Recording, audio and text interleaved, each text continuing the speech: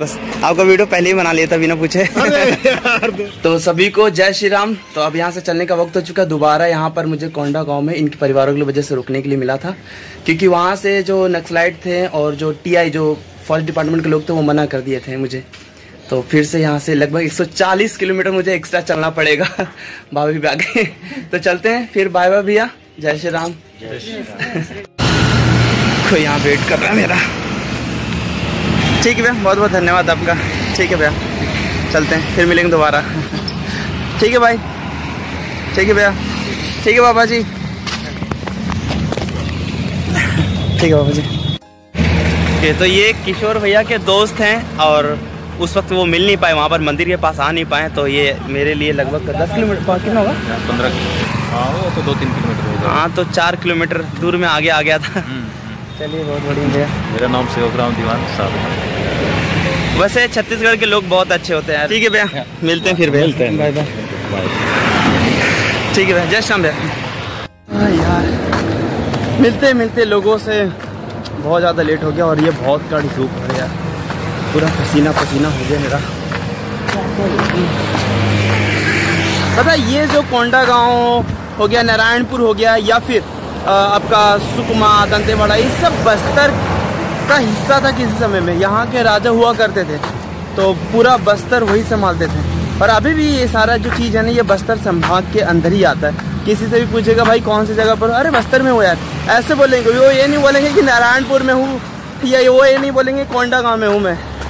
मैं कंफ्यूज हो गया था कि क्या बोल। रहे बस्तर बस्तर तो अभी बहुत दूर है मुझसे मुझे पता नहीं था। हमने कहा, चलो, मुझे पता चला। और बस्तर को लगभग सात ज़िले में बांटा गया इधर। बस्तर बहुत बड़ा था।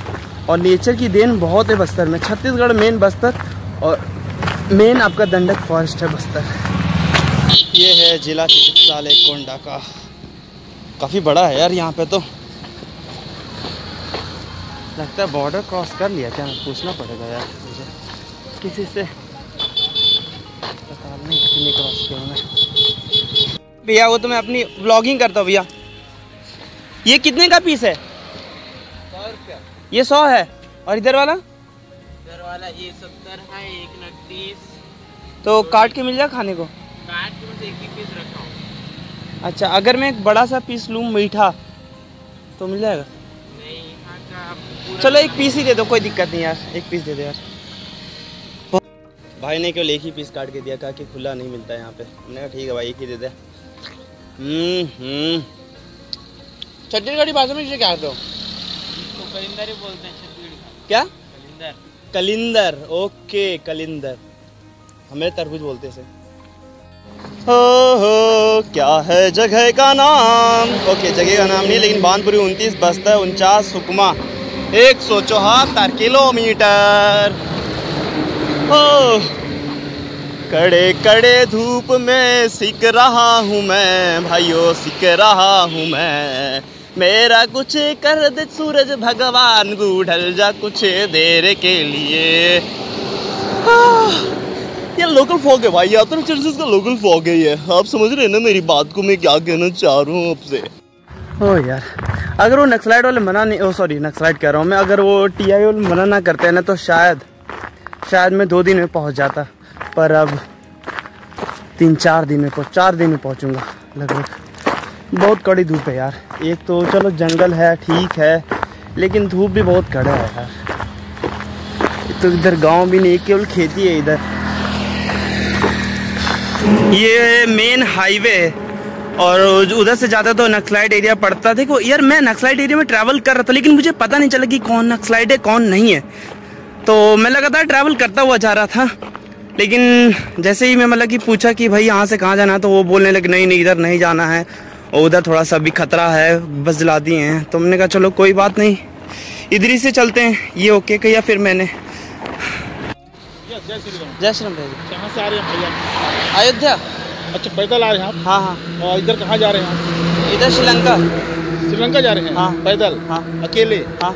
अच्छा तो वहाँ से कब निकले हैं आप? हो गया चार महीने में। चार महीना हो गया? हाँ। अरे बाप ठीक है भैया। बस बस। आपका वीडियो पहले ही बना लिया था बिना पूछे। यार दोस्त। ठीक है भाभी जी जय श्री राम। ठीक जय श्री राम ठीक है भैया। ये इस गाँव का नाम है बस स्टैंड बनिया गाँव। बनिया गाँव? कैसा नाम है यार ये तो? वो हम मेरे कॉलेज में एक बंदा था और उसका नाम अ, क्या था मैं भूल रहा हूँ। विवेक जायसवाल वो भी बनिया था उसको हम बहुत चिढ़ाते थे भाई बहुत वो बहुत अजीब अजीब था यार बिल्कुल अजीब था वो बंदा। मतलब कहते हैं ना कि मांग मांग के खाना उस तरीके का उसका व्यवहार था। अब तो भाई वो बहुत ज़्यादा रिस्पॉन्सिबल हो चुका है। बदलाव आ चुका है शादी के बाद और रिस्पॉन्सिबिलिटी गेन करने के बाद बहुत कुछ लड़कों में बदलाव आ, आ जाता है। इस जगह का नाम है दही गाँव ऐसा कुछ नाम है जगह का। बहुत गर्मी यार। मेरे बाल वाल कैसे हो गए हैं यार? खतरनाक हो गया। जैसा लग रहा है कितने दिन से मैं नहाया नहीं हूँ। झारखंडी आदिवासी लग रहा हूँ बिल्कुल मैं। कोई बात नहीं सब एक ही है। तो साढ़े चार बज गया ये क्या मरा यार? बहुत खतरनाक तरीके से। ये रात में पिच आ जाएगा। है क्या? बस। हाँ। ठीक है भैया बहुत बहुत थैंक यू भैया मुलकुल के लिए। बैठते हैं आइए बैठे बैठे। तो भैया जी भी अयोध्या से क्या नाम भैया? उमंग दुबे। आपका भैया हरेंद्र नाग हरेंद्र नाग मेरे लिए अमूल कुल लेके आए स्प्राइट स्प्राइट इसलिए नहीं पीता ना भैया क्योंकि वो उसमें शुगर ही बहुत ज़्यादा होता है बात और वो ठंडा भी बहुत ज़्यादा होता हेल्थ के लिए सही नहीं रहता। हम्म। है इसीलिए। कभी कभी मतलब हो जाता है कि एक दो सीट पाना होगा तो आए थे में कहाँ से? अयोध्या मतलब हमारे पूर्वज अयोध्या के थे हम लोग यहाँ के बसे हुए हैं। छत्तीस गोंडा गाँव हाँ कोंडा गाँव ऐसे। ये कोंडा गाँव खत्म कब हो? कहाँ होगा? कोंडा गाँव यहाँ से 15 किलोमीटर 10 से 12 किलोमीटर जाएँगे तो कोंडा गाँव खत्म है जिला उसके बाद बस्तर जिला चालू होता है। अच्छा और ये घोड़ा गाँव कितना दूर वही वही घोड़ा गाँव लास्ट है। बारह आगे से बारह किलोमीटर दस किलोमीटर चलिए कोई नहीं। क्रॉसिंग जंगल। अच्छा। है शाम का जो जंगल का जो नज़ारा होता है ना वो काफ़ी ज़्यादा अच्छा होता है लगता है कभी कभी फ़िलहाल तो। आह, कोई नहीं यार इसके बाद ही कोई गाँव पड़ेगा मुझे जल्दी पहुँचना पड़ेगा।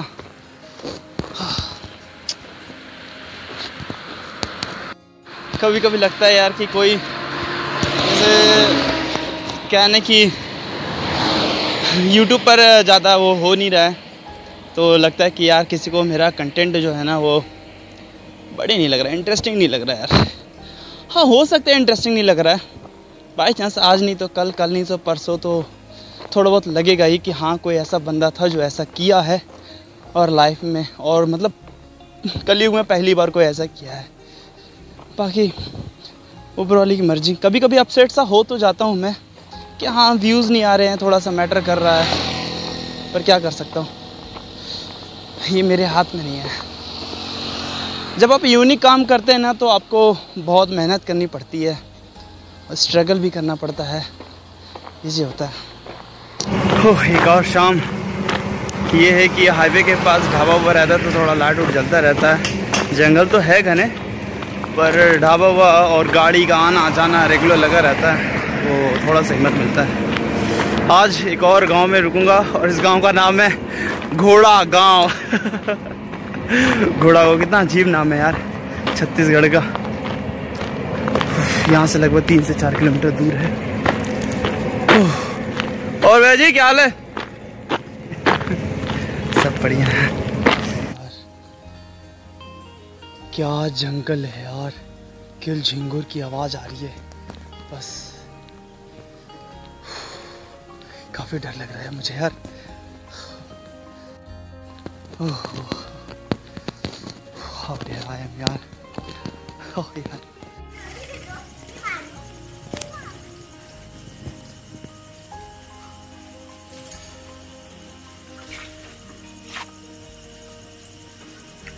मैं दुकान में देखकर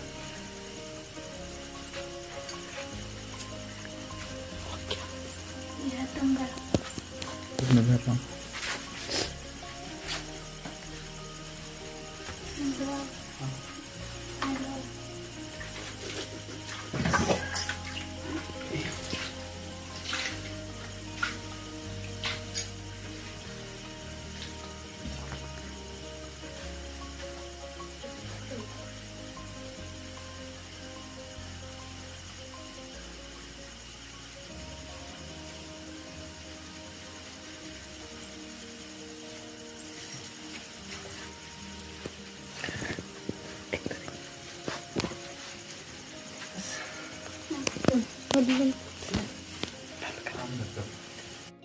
तो पहले वो मुझे किशोर भैया नहीं बता रहे। तो रास्ते में फ़ोन किया कि अगर घोड़ा गाँव पहुँचते हो तो बता देना वहाँ मेरे दमाग रहते हैं। तो मैंने ठीक है कोई दिक्कत नहीं फिर जैसे यहाँ पर आया कॉल किया तो अभी जो मतलब पैर वो करे थे वो उनकी भतीजी हाँ हाँ हाँ वहाँ जो साड़ी पहन के आई थी हाँ। वही अभी जो पानी पिलाई थी। हाँ तो आप मम्मी और हाँ पापा। पापा है उधर। है ये छोटा सा दुकान लगा है आए। मेरे भाभी जी।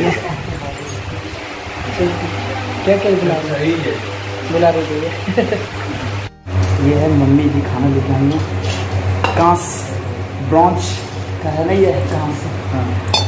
और ये है भाभी जी ये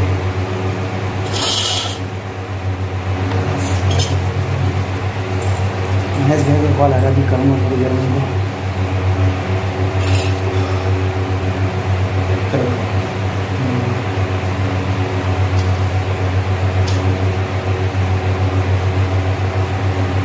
हम लोग चावल ही खाते हैं। अरे छत्तीसगढ़ में ज़्यादातर चावल ही होता है। इसीलिए तो लेकिन गाँव का पकड़ा शहर क्षेत्र में रहते हैं हम लोग। रोटी। रोटी भी खाते हैं। अब ये नहीं कि कहीं कहीं पर वो है कहीं तो वो है।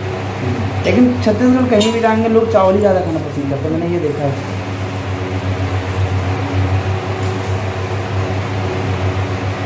और छत्तीसगढ़ में ही ज़्यादा सब्ज़ी चलता है। हम्म मुनगा। हाँ। मुनगा बहुत ज़्यादा चलता है।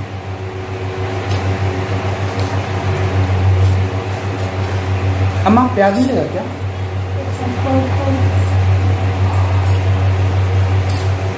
अचार खाते हो हम लोग। हाँ। हाँ अरे इतना सर नींबू नहीं रस में भाभी झूठा हो जाएगा ये। तो दूसरा दे। ये लो। हाँ। दो झूठा हो जाएगा में। इतना सब बर्बाद करना।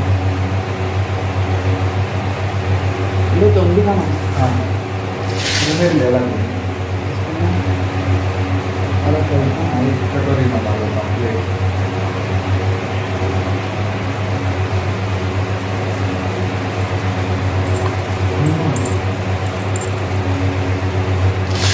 अभी ये ये हटा लीजिए अभी। एक दूसरा प्लेट जमा के ये भी हटा लीजिए मत हटा लीजिए बस इतना हम लोग खा लेंगे